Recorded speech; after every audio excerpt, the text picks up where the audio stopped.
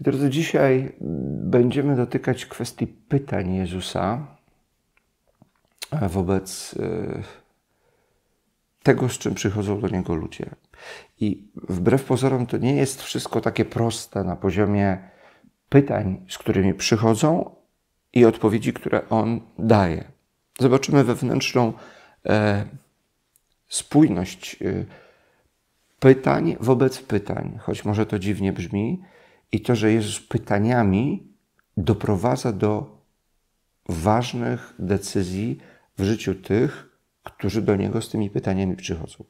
Natomiast druga część, choć będzie pewnie trochę trudniejsza i dłuższa, żeby to wytłumaczyć, znowu kontrowersja, znowu, zresztą na ikonce to widzicie, e, wobec wytłumaczenia mm, no, takiego napięcia, które się stworzyło, a może które stworzyła jedna ze stacji pomiędzy księdzem, e, księdzem Michałem, nie chcę tutaj znowu przekręcić, bo już raz przekręciłem, Woźnickim, a Tiną Tarnę pokazaną przez, przez stację Polsat News. Ale najpierw idziemy do Jezusa. Panie Jezu, przychodzimy do Ciebie w pierwszą sobotę miesiąca razem z aniołami, Maryją, która wielbi, wierzymy, że wielbi i oddaje Tobie chwałę razem e, z wszystkimi świętymi w niebie, pomagając nam na tej drodze, modląc się za nas, e, byśmy wszyscy mogli osiągnąć zbawienie. A właśnie w drugiej części katechizmu Kościoła katolickiego, e, o której mówi nam 15 punkt, czytamy, że ten katechizm wykłada nam Boże zbawienie dokonane zawsze, raz na zawsze przez Jezusa Chrystusa i Ducha Świętego. Jest uobecniane w świętych czynnościach liturgii Kościoła, a szczególnie w siedmiu sakramentach. Daj nam, Panie, zobaczyć, że dzisiaj jesteśmy szczególnie zaproszeni do tego, by kto nie podjął jeszcze pierwszej soboty miesiąca, mógł z tego przywileju skorzystać by było to dla niego e, bardzo ważne mm, w jego życiu duchowym. Zawierzamy Tobie cały dzień dzisiejszy, wszystko to, co przed nami stawiasz. Bądź w tym uwielbiony. Amen. Posłuchajmy słowa. Przyszli znowu do Jerozolimy, kiedy chodził po świątyni, przystąpili do niego arcykapłani, uczeni w piśmie i starsi i pytali go, jakim prawem to czynisz? I kto dał ci tę władzę, żebyś to czynił?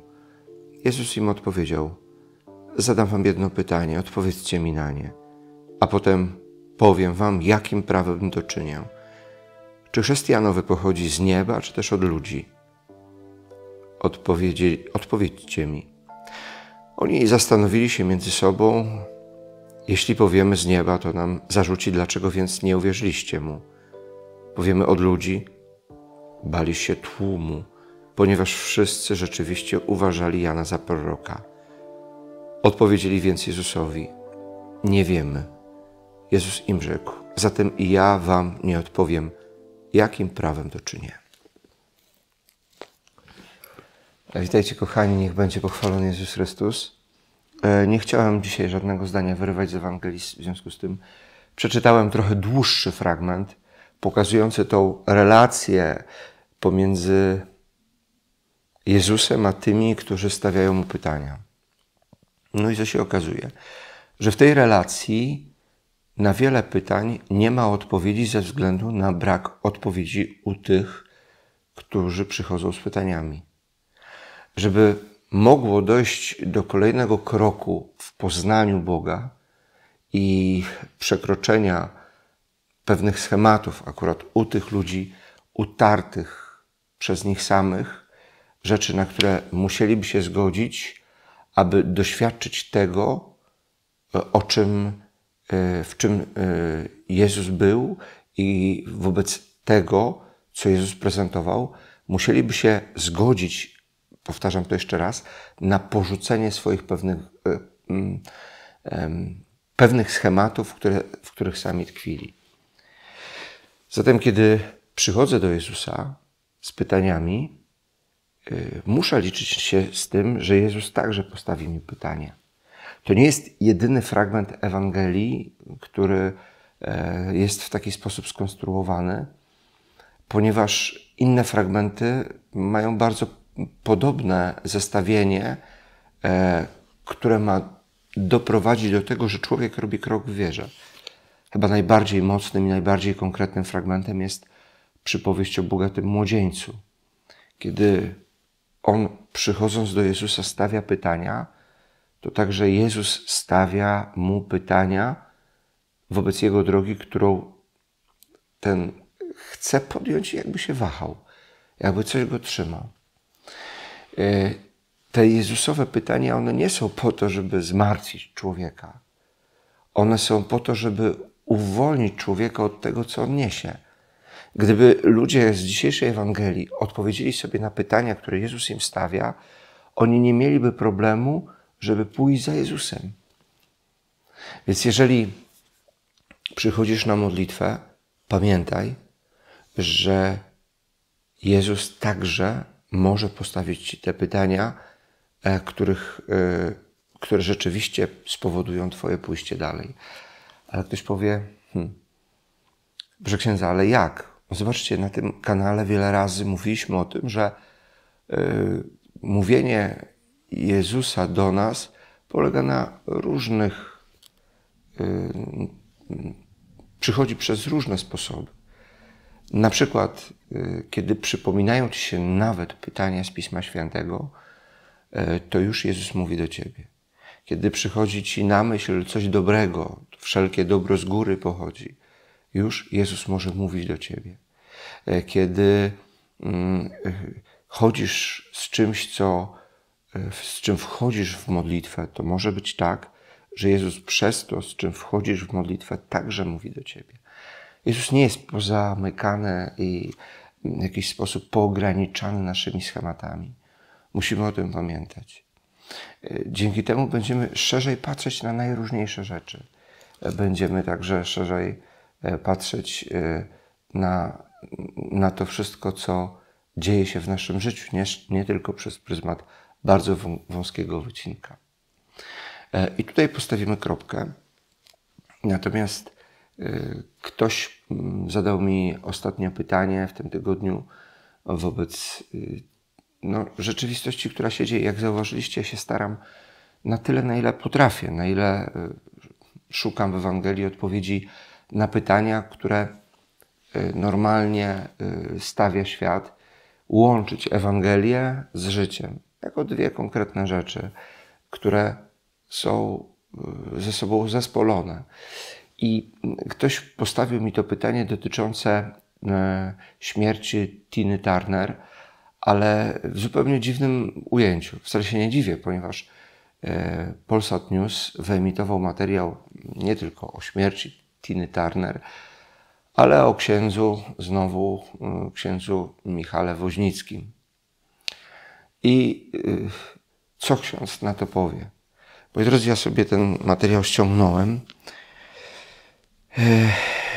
No i co chcę przede wszystkim powiedzieć? Posłuchajcie, tytuł jest szokujący właśnie w tym materiale, w tym programie.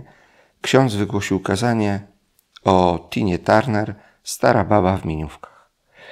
Aż się zadziwiłem, no bo przecież e, kiedy e, spojrzymy na zestawienie księdza Michała Woźnickiego i e, Tiny Turner, to od razu widać, że ten ksiądz e, no, został wydalony ze zgromadzenia Salezjanów, że potem został ekskomunikowany z domu zakonnego.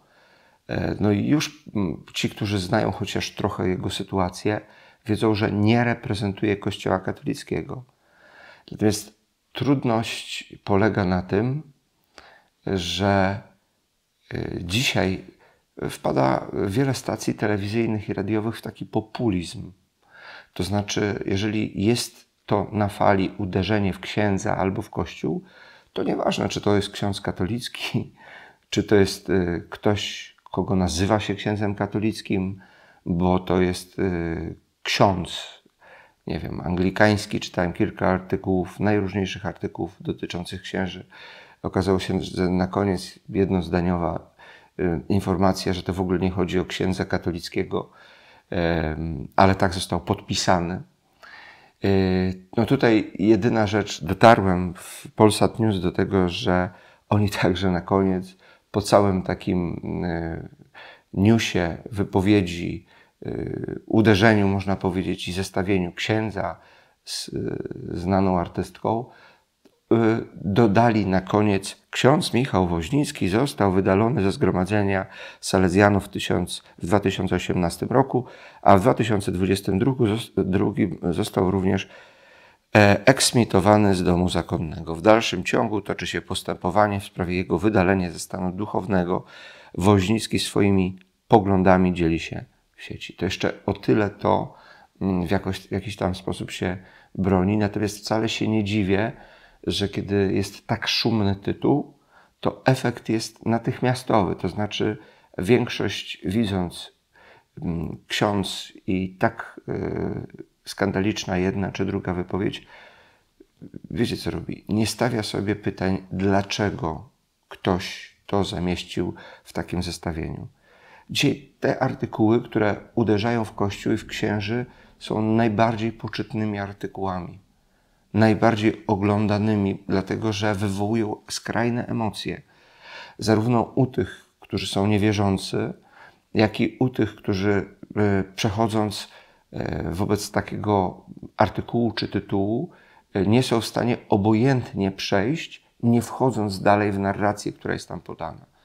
No efekt jest jaki? No taki, jakiemu zależy tym konkretnym stacjom, w tym wypadku Polsat News e, oglądalność. I nie możemy się tego na tym dziwić. Zobaczcie, e, mi zwrócono uwagę, zanim zaczęliśmy robić takie mocne tytuły, że bez tytułów, które będą przyciągać, nie będzie zainteresowania tym, co robimy w tych kręgach, do których chcemy dotrzeć. Ja mówię, ale czy potrzeba aż takich tytułów, które my nadajemy w naszych filmikach, a ktoś powiedział mi, no ci, którzy rzeczywiście cenią księdza, oni i tak będą dotykali treści. Natomiast do tych, do których treść przez sam tytuł, który dla nich nic nie mówi, bo jest zbyt to logiczny, e, nie dotrą, ten kontrowersyjny tytuł, który też ksiądz będzie nadawał, będzie powodował jakieś zaciekawienie.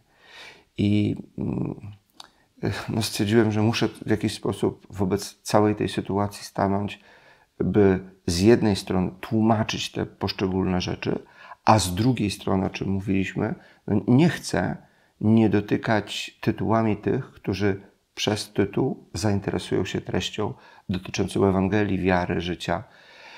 E, moi drodzy, ja tylko powiem, nawiązując do tego, co teraz komentuję w tej drugiej części e, tego naszego rozważania, e, że Y, no, religia chrześcijańska, w ogóle mm, katolicyzm, mówiąc precyzyjnie, on przede wszystkim prowadzi do czego?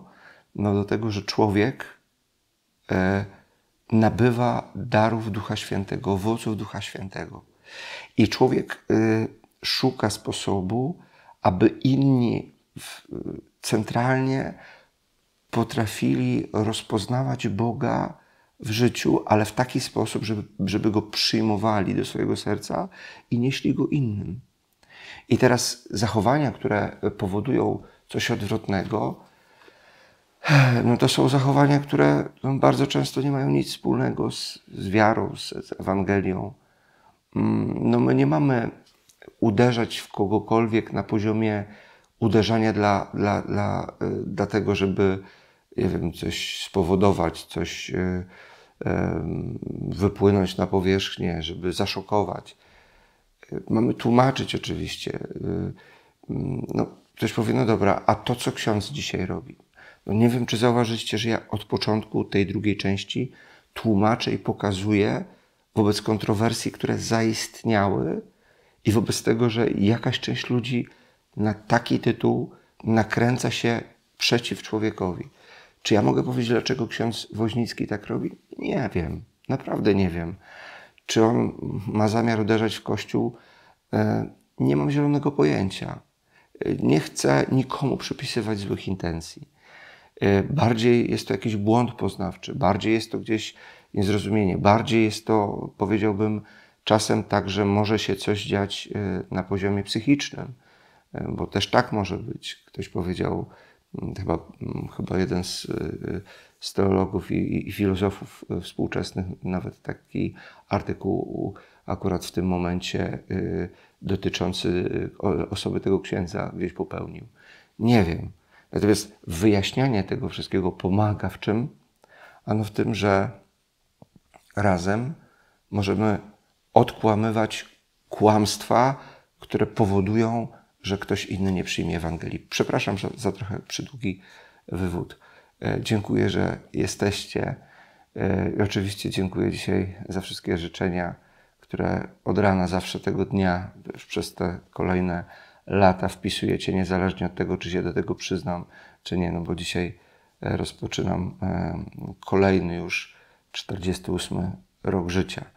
Niech Was błogosławi Bóg Wszechmogący, Ojciec, Syn i Duch Święty. Amen. Subskrybujemy, lajkujemy, a w opisie cały czas trwająca e, zrzutka. Do zobaczenia jutro. Dzisiaj, przepraszam Was bardzo, płyta. E, wstań e, i ta płyta pewnie powędruje do każdego, kto w komentarzu doda serduszko. E, z tych mm, osób wylosujemy szczęśliwego mm, osobę, która taką płytę otrzyma.